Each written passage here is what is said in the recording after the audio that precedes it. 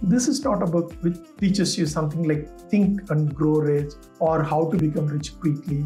This book is talking about how to love your life and become wealthy. Thereby, your love in life can be more meaningful to others also. Hi, friends. Recently, I read the book The Psychology of Money by Morgan Housel. The title is interesting Psychology of Money. If you see the cover, it, it shows a brain made of dollar notes. So it's about more of psychology. The subtitle amplifies it. It says timeless lessons on wealth, greed, and happiness. Wealth, all of us associate to finance. Greed and happiness is clearly psychology. But this author says wealth is also psychology. The concepts that this author is talking about are very close to our heart. Say independence or helping others not being greedy, being very patient. All these things we normally associate to not so rich people. What this author shows is following these behaviors with these values, you can become wealthy. For that to happen, we need to understand why we need wealth, what wealth will do to you, what are the do's and don'ts of becoming wealthy without leaving these values. That's why in this book, the author emphasizes on the timeless essence of happiness. To drive the point, the author narrates a beautiful incident. An American billionaire is throwing a huge party in his own island, and many people are participating, and there are two authors. One author tells the other, You know, you made that famous book. Whatever you earned in that book, this billionaire makes it in a day. The second author says, Let it be. But I have something what this billionaire does not have. I have enough. This enough is the mantra for happiness. This concept of enough is very important so that you don't lose what is invaluable in your life by chasing money. What are invaluable in our life? The author describes them. I think they are very, very close to our value system. Let me read it from my notes. Here it goes Reputation is invaluable, freedom and independence are invaluable, family and friends are invaluable, being loved by those who want to love you is invaluable, happiness is invaluable. So, chasing money should not risk these invaluable things. How to become wealthy without risking these invaluable things. That's what this book is talking about. On greed, this author distinguishes greed from wealth very clearly. Richness is something that you show off, wealth is something that you don't show off. When you spend your wealth to buy things, you will have less wealth and more things. These things are not your wealth. So, this distinction is important. At the same time, somewhere down the line, you're going to say, I have enough. I'm not going to put what I have at risk to get something more, and I don't want to be greedy. This is a main concept that the author says that you should have about wealth. The author also plays on the concept of greed in a slightly different way, which you don't normally see in other books. For example, if you are greedy for social recognition of your wealthiness, then you will try to punch above your weight. Say you have 5 lakhs, but you want to show off as if you have 20 lakhs, then you're going to buy a larger car by getting loan so that people will think that you are richer than who you are. This itself is a greed, not for the money, but for the image of being rich. The author calls it the man in the car paradox. What is a paradox? When a person gets loan and buys a huge car and the person is driving it, the person is thinking that everybody is looking at me. But the author says nobody is looking at you. Everybody is looking at your car. The first thing they take out from that scene is you. They don't want you there, they want them to be there. So they remove you. So you have got the loan and you are the first one thrown out of the scene by the onlookers. Is it really worth so there are important life lessons about happiness. There are important life lessons about greed. But what are the life lessons that the author is giving about wealth? For me, this book was brilliant in terms of redefining wealth. If you ask 10 people, all 10 of them will give different definitions of wealth. We can actually look at some of the concepts which are dear to our heart and find the association with wealth. For example, an independent life, it's a very likable virtue for all of us and also a life which is not very complicated, a more smoother life, which is something that we all want to have. and also the concept of being helpful to others. And the author is connecting wealth to these concepts. How? If you have wealth, you are not going to sell your time to do something that you don't like. Meaning, your life is more independent when you have wealth. Again, if you have wealth, it is going to give you a lot of flexibility about your life decisions.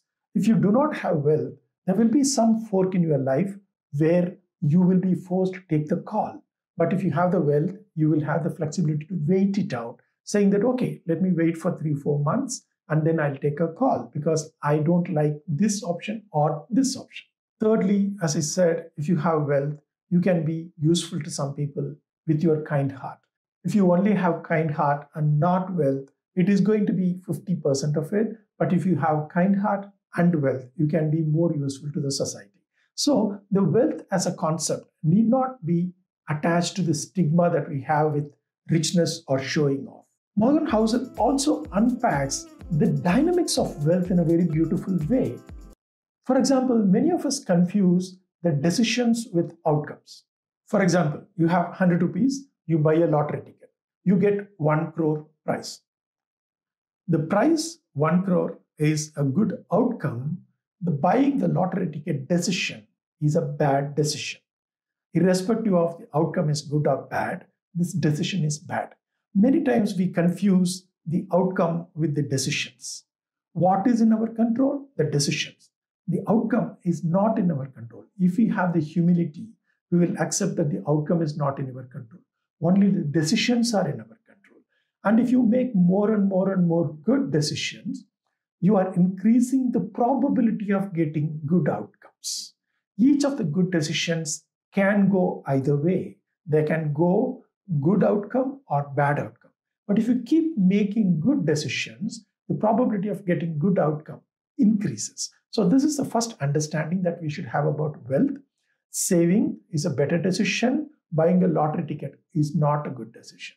Putting your money in a more secure investment is a good decision. Risking your money thinking of 20% outcome is a wrong decision. Another aspect the author is driving is that we all love bad stories. You open the newspaper, you get so many bad stories per day. This bridge fell down, this happened, that happened, these many people died, all the bad stories.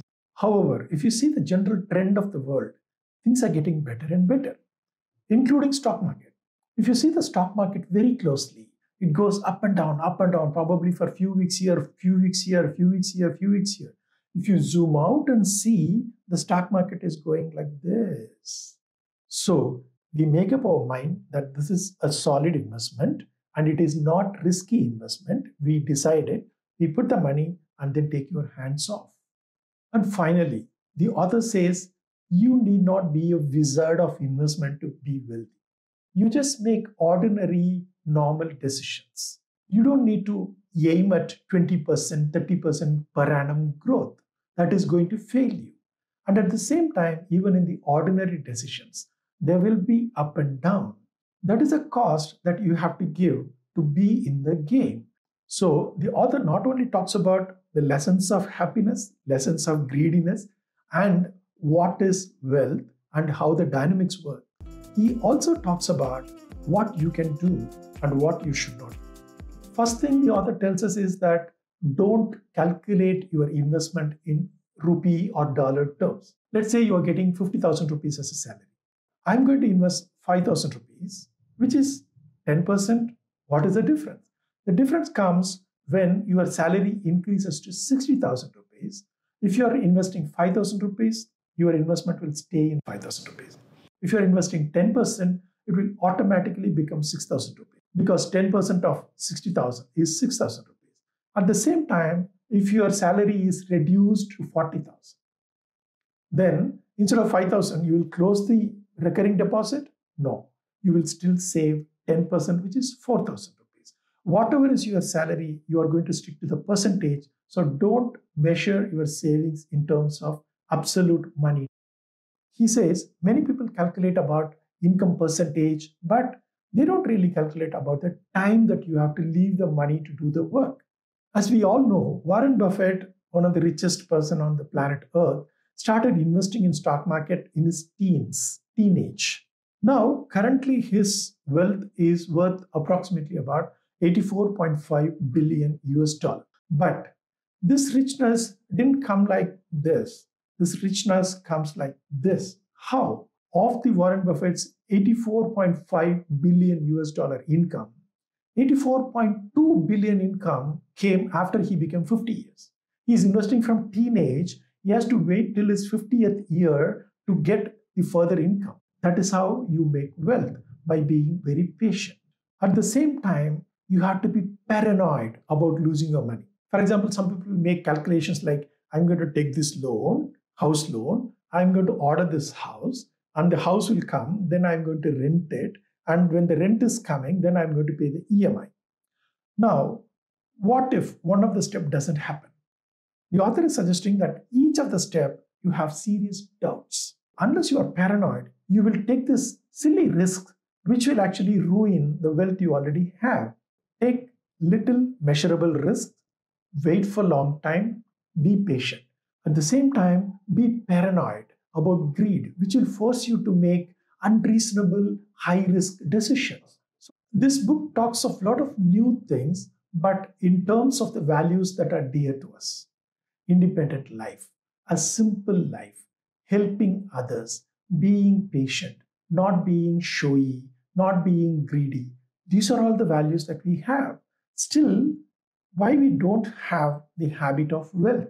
Because we associate wealth with the greediness and the showing off and chasing money in the rat race. That is not what this book is saying. The book is saying that keep your mind, love your people, respect your time, and live a simple life which is not measured in terms of your neighbor's richness.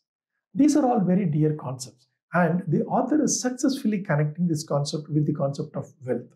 In your life, if you think these values are something dear to you, then I would recommend reading this book. This is not a book which teaches you something like think and grow rich or how to become rich quickly. This book is talking about how to love your life and become wealthy. Thereby, your love in life can be more meaningful to others also. And you can lead your life without major turbulences most of the time. I think it's a good thing to desire in any normal life. So for me, this book is for normal people who want to lead normal life, but at the same time, how to be wealthy. If you're interested, read the book. When I read another useful book, I will certainly share with all of you. Please subscribe if you have not and see you in the next video. Bye bye.